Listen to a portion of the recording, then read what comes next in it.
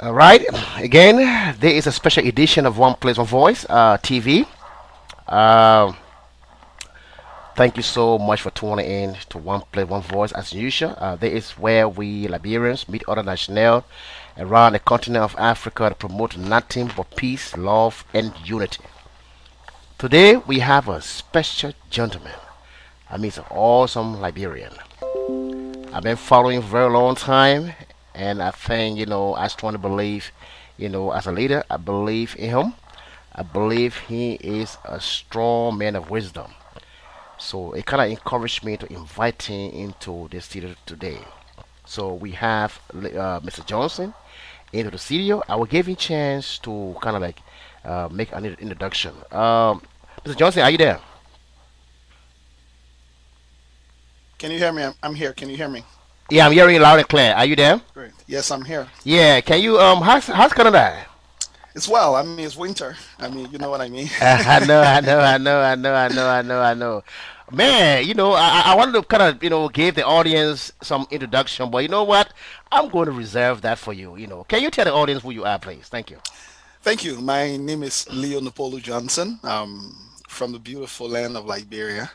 I live in Canada. Um, I went to post-secondary school here where I did my undergraduate degree. Um, had the chance to live in the Ivory Coast and Ghana through the refugee camps like many other Liberians. Came to Canada in 2006 and um, have ever since been here trying to push the Liberian agenda through every channel that I can. I'm also the um, founder and executive director of an organization called Empowerment Squared, which is a non-for-profit and charitable organization in Canada. Um, I'm currently doing some projects in Liberia as well. We we've undertaken a, a two million dollar educational facility called the Liberian Learning Center. We broke grounds in October, so we're looking forward to hopefully getting construction started this year. Wow.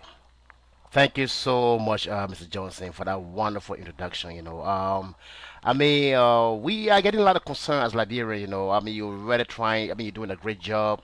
You know, in Canada, and uh, some of us, uh, you know, as a broadcaster for a very long time, you know, we took interest in you because you have some um, very great message for our people. You know, that is in the diaspora and uh, that of Liberia, and you're doing a wonderful job. But uh, let me just ask the first question, uh, Mr. Johnson. Uh, what motivates you to do the work you do? It's one thing, um, and I tell people this all the time because uh, I usually say Liberians we we tend to forget very quickly.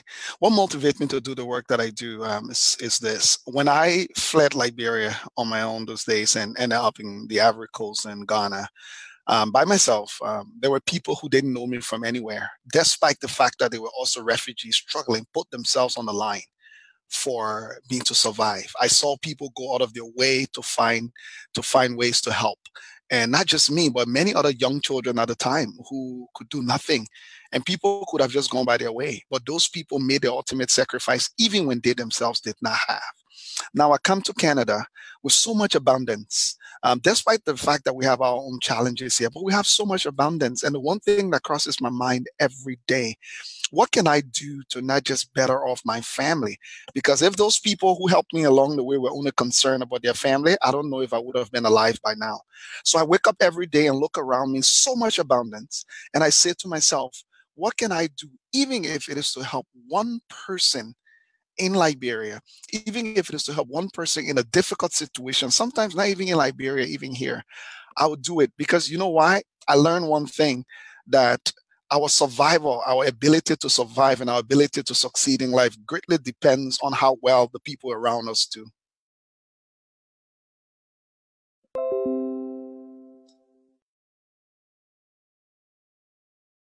Such a wonderful man who have heart, you know, for his country, who travel to the great United States, you know, um, not only traveling, you know, for he and his family, passing through refugee, you know, uh, coming to America and making such a great impact in his country of origin, Liberia specifically.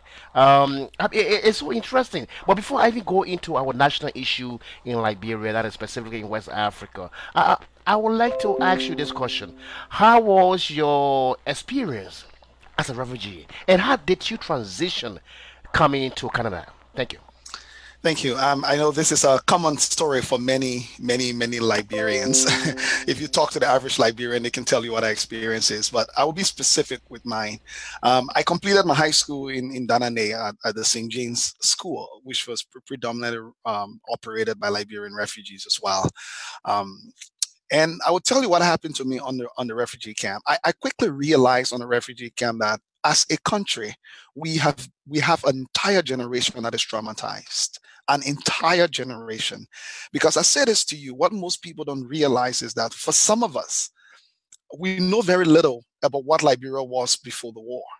A lot of our actual lives as adults or as young adults became real when the war started. So, what has become our normal times? When you fight more than two decades of war, that's normal times now. So we accept that crisis is our normal times. We've come to accept that the hustle, the bustle, we've come to accept that you cannot plan for 10 years in advance because you don't know what may happen. So on the camp, we live for every day. You wake up in the morning and you have to worry only about what you get for today, what you eat for today. There was no worry about what happens in six months because the truth is you were not guaranteed that you will be alive six months, or you were not guaranteed that you will be in the same camp for the next six months. So the camp has left an indelible mark on us as a people that we need to be very conscious about in undoing. Because what most Liberians don't realize is as we've come here, to North America or to Europe or wherever we may be, we still haven't realized that we are still living like we were living on the camps. We are still living like we were living in Liberia, where it's all about what you get today. It's all about the short term. It's all about the next six months because our community hasn't gotten to a place to sit down and think about what do we do in 10 years? What will we look like in 20 years? What do we need to do now? So if you ask me my experience on the camp the one thing it did it taught me resilience it taught me the ability to survive. But i've also learned that i don't just need to survive i need to try and live and take advantage of the opportunities around me. Wow this is very inspiring, you know, uh, this morning. Again, uh, audience, you are tuned into One Place One Voice. Uh, that was the voice of uh, Leo uh, Lekpele Nupolu Johnson, you know, a man who have uh, the inspiration, the man who, who is so motivated to go back to make impact uh, in his country, Liberia, in West Africa. Um, Mr. Johnson, I know you got an organization. Before we even uh, transition to the national issue, um, I just want to ask you this question. Uh, uh, when you went back home in Liberia, how did your people receive you in terms of uh, what you wanted to do for them? Thank you. You know, there's a saying that um, you go to East Africa for the safari, for the animals, and for the wildlife, but you go to West Africa for the people. Um, I'll say this to you. When I went back to Liberia, I was overwhelmed. Um, there is one thing I would tell everybody I was well received by my people. Um, people in Liberia, I, I think sometimes we underestimate what they've gone through. And sometimes we set all kinds of um, unrealistic expectations. I told someone the last time if you and myself did not leave Liberia to come here and experience what we've experienced and get exposed to what we've gotten exposed to, we will be no different from the people in Liberia. We will be no different from how the people think. I went to Liberia, I'll be honest with you, since we started this project, everybody has chipped in. From uh, people say it's impossible to do things in Liberia. I will be honest with you, my experience has been different. In fact, we've we've transitioned through two different governments, both at the city level in Paynesville and the national level. And what it, it, it came to getting the land, when it came to the logistics. I didn't go to Liberia by myself. I took a bunch of uh, friends and donors to Liberia, including our library, the CEO of our library from Canada here, including some other guests that came with me. And while we were in Liberia, everybody went out of their way to try and make things happen. The city of Paynesville, Paynesville City Corporation, did everything they could do, left no stone unturned. Everybody that was involved. So I want to be honest with you. If there's anything I took from Liberia, I was there in October, just this gone October. I took from Liberia that despite the fact that people would try to hustle and survive, they never relent in trying to give their best support. All we need to do is to set the rest the right expectations and find the right way to work with them. Wow. Thank you so much, uh, Mr. Johnson, uh, for that, you know, um, inspiring information. You know. Oh, and I forgot to mention to you. Go ahead. Recently, I actually got elected also as the president for the Liberian Association of Canada, which is the umbrella association, the equivalent of ULA in the United States in, in Canada here. Wow. Man, you know, uh, myself we here, you know, I'm kind of really, really inspired by your message, you know. Uh, so, um, I mean, what did it take to before even you know come back to our homeland, you know, Liberia? Uh, what did it take for you to win that election? You know, being a, uh, the president for the Liberia Association in Canada. You know our, our community is, is very difficult to, to actually lead um, because of all of the things we've been through and sometimes because of all of the things we tend to bring as as as, as challenges. But i'll be honest with you it was overwhelming um, my opponent um, that i ran against. I won 87% of the vote. Um, so there's i mean i must be honest that kind of mandate you don't get all the time. The community in canada overwhelmingly gave me their support. I won 87% of the vote. And even my opponent who I ran against was so gracious. He's been great in working with me to try and make sure we move the community forward, even though he did not win the elections. The community in Canada has been overwhelmingly supportive. We just held our installation because the election was in July. I won the election in July. So December 21st was our installation. And people from across this country, from Canada, flew everywhere into the city where I live, where the event was held. We had over 300 guests in the room and we raised over $8,000 in one night for some of the projects that we're looking at taking on as a community in Canada. So I want to send this message to the community in Canada. I've been grateful and humbled by the level of support and the level of togetherness that they have fostered. That today we are where we are. We are a new organization. We just started in 2015, so we are brand new. I just got elected, I think, five months ago. But I can tell you what I've seen the community in Canada is set up nicely to do well and thrive. Awesome. This is awesome. This is awesome, you know. And we want to give you many thanks, you know, for doing what you continue to do, you know, for your Liberians and also trying to make an impact in Liberia. Now, let's transition back to uh, the motherland, Liberia. Um, we, we, you know, our people, a lot of people are on social media, uh, in the diaspora and other places in the world, complaining that uh, uh the people are struggling in Liberia. Um, Mr. Johnson, um, from your wisdom, uh, how, how do you visualize Liberia at its current situation? Here's what I, w- I would say, and I've said this over and over, and sometimes it's proven controversial. People have disagreed with me. Liberians overwhelmingly, we focused our effort and all of our energy on our governments. And I'm saying on our governments because including previous one. Um, and here's my attitude. I've said to people, we cannot keep doing the same thing over and over and expect a different result. Some people call it a definition of insanity. Now, that's not to say governments as a whole don't have their responsibilities and what they're supposed to do. In fact, a lot of the things that happens in a country depends on how the government position itself. However, to him or her who much is given, much is required. Here's what we haven't done. We've gone all out to do everything we can to hold our governments accountable, but we haven't held ourselves accountable as citizens of Liberia. I keep asking us this where is our role? Where is our responsibility? Because you know what? I can give you examples of countries where there have been bad governance, but that has not stopped the citizens from finding a way of doing their patriotic duty. And your patriotic duty is to be devoted to your country, regardless of which government is in power. And that devotion cannot exclusively be only chastising and criticizing the government for not doing its part or not playing its role let's let's come to the issue of corruption, which has been one of the biggest reasons for our our suffering in in Liberia, which has been one of the biggest reasons why our country has not gotten to where it's gotten. Corruption is not limited to the government. The government has done its part in terms of being part of corruption in a big way. But let me ask this to you, my brother. Why are we now outraged that teachers in our classroom are sleeping with young children in grade six to give them grace to pass?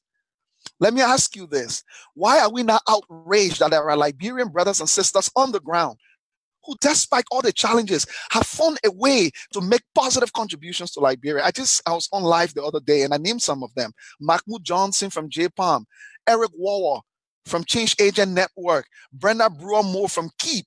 I can continue to name them. We've given these people no airtime. In fact, all we've done is we focus all of our energy just on finding all of the problems in Liberia and not finding solutions. I will say this to you why we chastise government, why we hold government responsible, we too need to be held accountable. And as Liberians, we need to start asking ourselves, what is your role? The role that you are playing in Liberia, is it contributing? Is it a balance between your contribution and your criticism? Or is it 99% of the time your complaints about all of the things that are not going right? Because the things that are going right, there are many things going right, and I will expect that Liberians in the diaspora will begin to also contribute to the things that are going right while we take on the things that are not going right. Wow. Thank you so much, Mr. Jones. You know, that was a very um, powerful response to the question just asked. Now, um, we, we are hearing that uh you know uh there's going to be um, a peaceful assembly uh, in Liberia. Um, there's a controversy you know going on in Liberia. Why uh, at this time uh, the international coming in to uh, kind of have intervention? So um uh, like uh, the leader for the COP, you know uh, Henry P. Costa, uh, he said uh, he don't believe that uh, people should take to us our country on what to do when it comes to you know trying to assemble peacefully you know to protest. Uh, what do you think of that? Let me say this. Um, first of all, let me make this unequivocally clear. Uh, I've, in all of this noise I've been going on, I've chosen the side of Liberia. I'm not on anybody's side. I've chosen Liberia's side because I think what has happened in all of the noise has been going on, people have forgotten that Liberia has a side. And the side of Liberia that I've chosen is the children of Liberia who have suffered so long. They have suffered. Nothing they've done or nothing anybody can do makes them to make them to deserve the kind of suffering that the children of Liberia have gone through. And for us to be having conversations in 2019 or 2020 and still not thinking about them, still not considering what impact our actions have on them, is disappointing. But let me come to the issue of the international community. Let me remind people in Liberia. You know, we love to, to come out with this uh, uh, uh, attitude of, oh, we are a sovereign nation. Which are you sovereign? Let's be practical. How can you be sovereign when you cannot fund your own budget? We're just in the process of entering an IMF program because the country Liberia itself is not able to fund its own budget to pay salaries. Hmm. Let's get it to the very basic stuff. We cannot pay our workers as a country. Let's get it to the very basic stuff. We cannot take care of our hospitals. We cannot keep our schools open properly. There's nothing we are able to do for ourselves. So, how can you make the argument that you are sovereign when you are just on your way to an IMF program? We do not have sovereignty. And the reason we do not have sovereignty is because of our own recklessness, of our own corruption, and not only the government. I'm saying us collectively, because even the citizens of Liberia, remember when Ellen Johnson Sirleaf was president, the people who were out of power were the advocates of the day against corruption and all the bad attitudes. George Weah became president. All of the people who are the advocates today are the people defending corruption and defending bad attitudes, while the Ellen people who are no longer in power now, they are the new set of advocates. We can't keep going back and forth. So I will say this to you today Liberia needs to regain its sovereignty.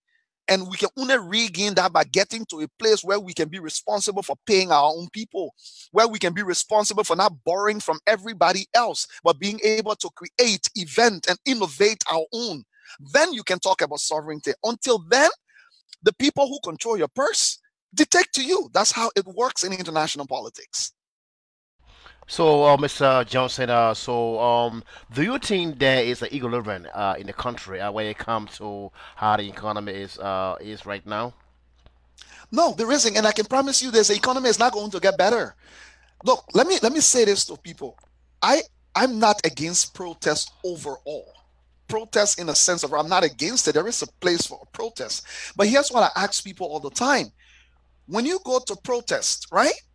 At some point you will leave the streets. Here's my challenge. When you leave the streets, then what?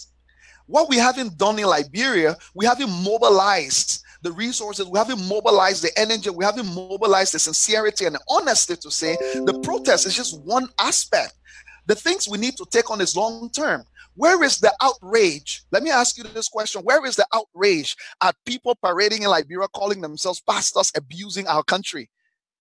Misleading people? Where is the outrage when young girls are getting raped every night and they are dying from rape?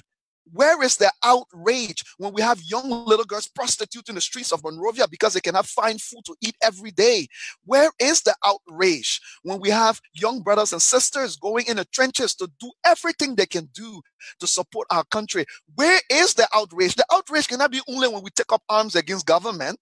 The outrage cannot be only when it's about time to go and show off because we can. Pro- Look, let me be honest with you. Liberia is not going to change because our government changed Even Jesus Christ come to Liberia today and be president for Liberia in the current conditions, he will struggle because we are producing people who are corrupt. The entire society is producing more corrupt people. The children who are going to school today under these circumstances, ask yourself, what kind of citizens will they become tomorrow? Ask yourself. And that it's not foreigners that are coming from outside the country to be ministers and presidents and legislators. It's Liberians. Well, our country is producing way more bad people than good people. So as a result of that, our chances of you can get the best president If majority of our people believe the only way to succeed is to steal and to be corrupt, good luck firing everybody in the country. It's not possible. So let's go back to the fundamentals, which is the family unit. Let's start asking ourselves, how am I, how am I, am I raising my, my son or my daughter? Let's stop having children by our Liberian women and walking away as fathers without realizing that we have a responsibility to take care of those children. Let our mothers stop neglecting their children because they want to live a high class life. Let them start to teach, let our children grow up knowing that there is a dad and mom in the home and how society is supposed to work. Let our teachers start setting the examples. You don't need government to do that. It takes ourselves. But uh, uh, Mr. Johnson, uh, I, am kind of like trying a little bit, a little bit being confused. Um, so are you telling me that uh, government don't have a role to play in this? Because um, if the economy is hard, from what I'm seeing, because myself I was in Liberia August of 2019, and I, I and I'm seeing the impact also from the government. And I understand your point. You know, your, your point is well taken, but um, I'm a little bit confused. You know, as a broadcaster. Um, so um, uh, government, uh, do uh, do you think that when they start to push in programs that will help uh the same parents that you're referring to um to to to to to, to train their children, you know, uh, from the home? Uh, do you think um, government don't have that, that, that, that important role to play, uh, you know, to reinforce the parents to do that? So here is the thing. I think we've misunderstood the role of government in Liberia. And I'm not here telling you the government of Liberia is fulfilling its role either. No. It's clear, not just this government, multiple governments since 1847 have not been able to fulfill their responsibilities to, to the, in fact, many times what they've done is they've abused and destroyed the country even more. Let me tell you this Government has a role to, pr- to protect the peace and security, to provide an environment that's conducive for people to thrive. I agree with you 100%. And in Liberia, we are yet to see that happen. So, yes, the criticism government is getting is justified. But let me ask you this. My question to people is if government refuses to play its role, or government neglects its role, so should we all perish? Should we all sit down and say, because the government has refused to play its role, so we should perish? Or should we be finding other avenues while we chastise our government, hold our government accountable? So let me ask you this Should the fathers that are having children by mothers and walking away, not because they are poor, but walking away because they don't think that was the right woman that they were with, so they neglect the children and the mother, should they be waiting for government to come and tell them what they're supposed to do before? So let me ask you this the young little girl that's prostituting down the street in Monrovia because she does not have food, why a handful of our people have 95% of the wealth individually? Should we wait for government? So, my question to Liberians is government is failing and has been failing for a long time. So, should we all sit down and wait for governments? Or should we all be finding other avenues why we, we, we chastise our government to do what is right? What Liberians haven't done, we haven't played our role as citizens. As a citizen, you have a responsibility to your country, especially Liberians in the diaspora and some Liberians at home. So all I'm saying to Liberians is play your role as a citizen regardless of how bad your government is, right? I'm not saying don't chastise your government. No, we should. But all I'm saying to you is the government does not have anywhere to recruit from where we get good people. Let me be honest with you, my brother. If the government of Liberia came today, right, and resigned, the president and everybody resigned today, let me ask you, Name me 10 people or 20 people you know in Liberia that you can put your head on the chopping board within the leadership of political diaspora. You can say, these are the heroes that we will immediately pick without scratching our head. Our country is bankrupt of, of, of moral people. Our country is bankrupt of people who are sincere and honest. So my problem is, if you wipe out this government tomorrow, who are you going to replace them with? Let's be honest.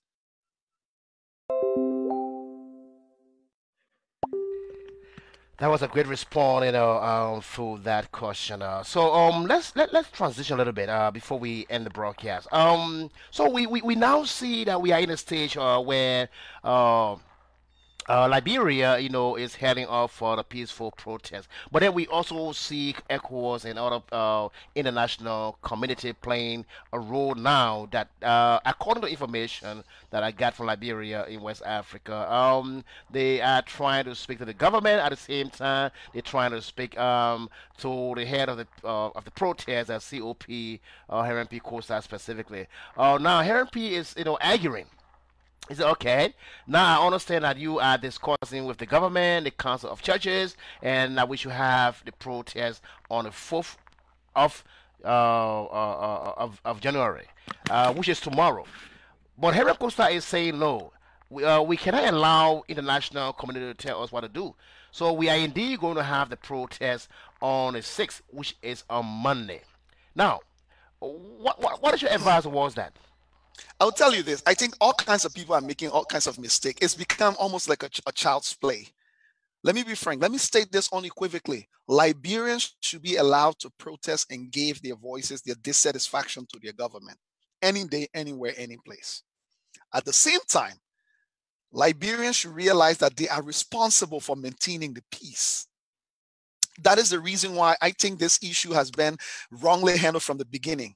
The government of Liberia, when Henry Costa the COP and their group decided they wanted to protest, I believe the government of Liberia should have helped facilitate it.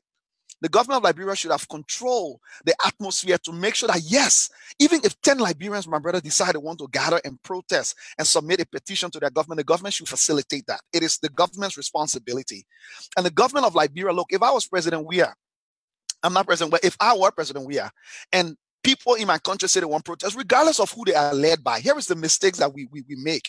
We forget that it is not about the individuals that are leading these things, it's about the frustration and the satisfaction of the people with their government. I would, if I was president, we had that first protest I held June 7.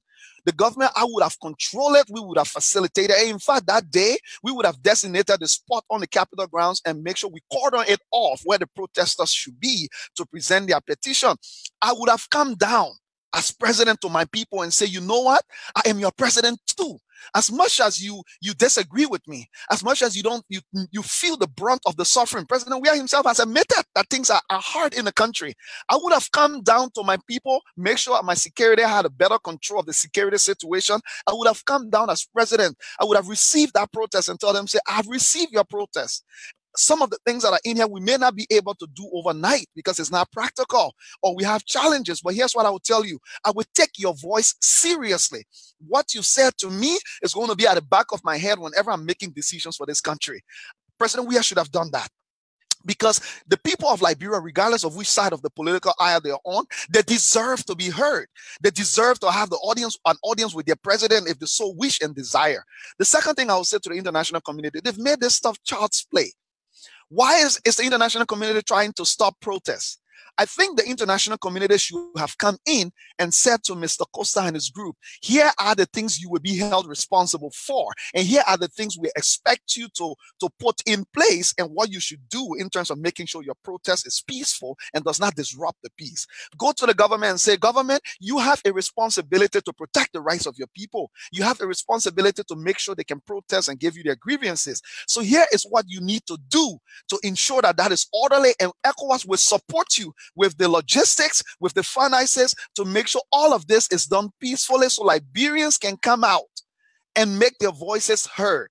And now what's happening is ECOWAS should have talked to, to Costa group that you are not allowed to ratchet up the tension and be making incendiary remarks. If you want to protest, please come out and protest, but do not incite people in ways that will escalate into violent behaviors, especially in a fragile country like Liberia. So Everybody has neglected their role and they've made it their primary objective to try and stop protests. Let me give you one lesson in history, bro. Every time you try to suppress these things, you ratchet it up more.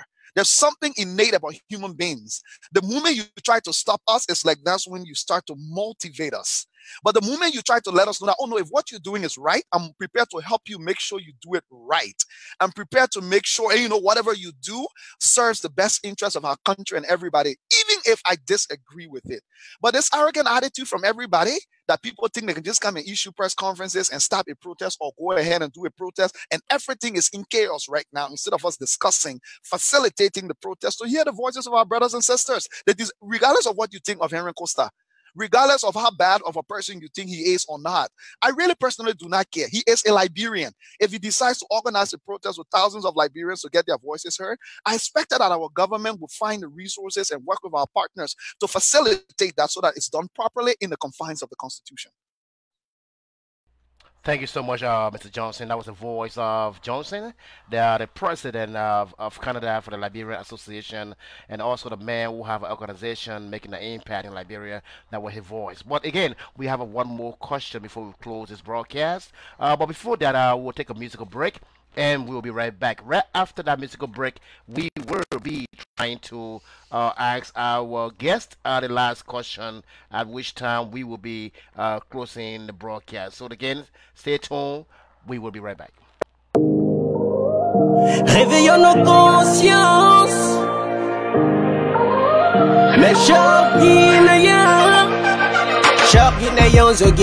nous donnons-nous la main afin de faire avancer notre cher pays, la Guinée.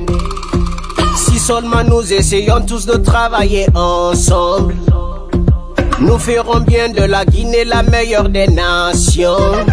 Oh yeah. Chers Guinéens et Guinéens, nous donnons-nous la main afin de faire avancer notre cher pays, la Guinée. Si seulement nous essayons tous de travailler ensemble, nous ferons bien de la Guinée la meilleure des nations. Oh yeah, ce que tu fais de valeur aujourd'hui. Oh yeah, inspire les actions des autres dans le futur. Oh yeah, ce que tu fais de valeur aujourd'hui. Oh yeah, inspire les actions des autres dans le futur. Oh yeah, ensemble nous pouvons. Ensemble nous pouvons. Ensemble nous pouvons.